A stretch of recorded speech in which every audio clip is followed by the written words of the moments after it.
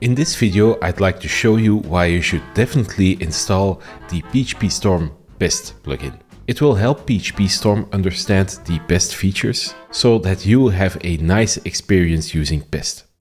Let's head over to PhpStorm. You're now looking at the test suite of a demo application and I've already installed the plugin.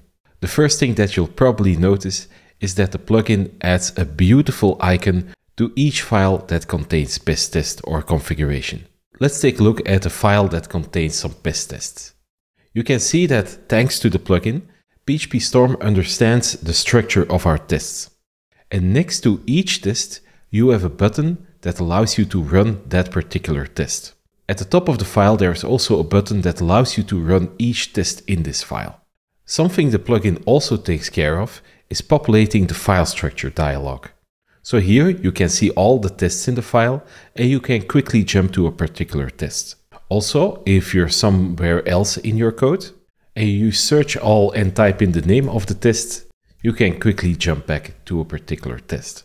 When you're writing test, you'll probably make use of the expectation API.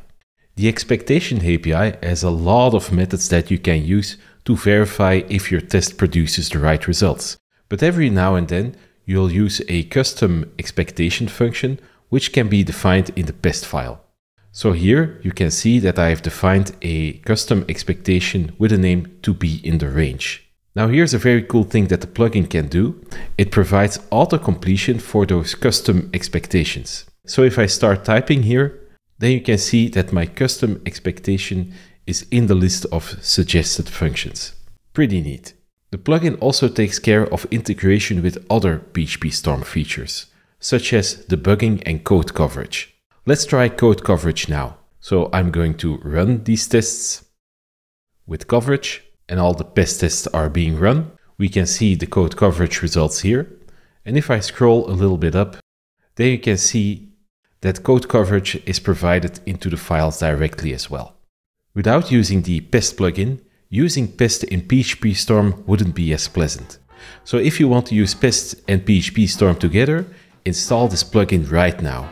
You won't regret it.